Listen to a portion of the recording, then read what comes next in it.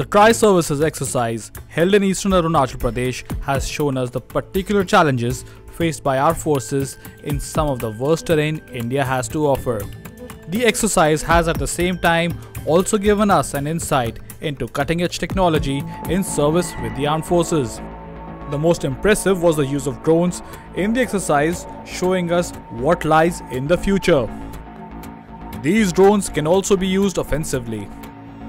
The army has also inducted small stealthy drones that can be used for covert operations. Drones have also been used to improve the communication network in remote eastern Arunachal. It's not just in the skies, the forces are also using four-legged robot dogs for reconnaissance in the remote terrain of Arunachal. The tech on display at exercise Poorvi Prahar demonstrates that the armed forces are at the forefront of a technological revolution, ensuring that they stay ready to face any eventuality.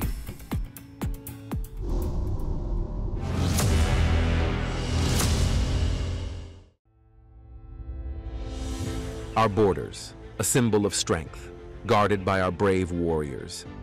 As the proverb goes, armor strengthens the greatest warrior. A1's fences are that armor for the armed forces. A1 Fence delivers quality in every inch, products, services, and insights, providing solutions, tackling every challenge in any terrain or condition. A1 Fence, securing our borders silently.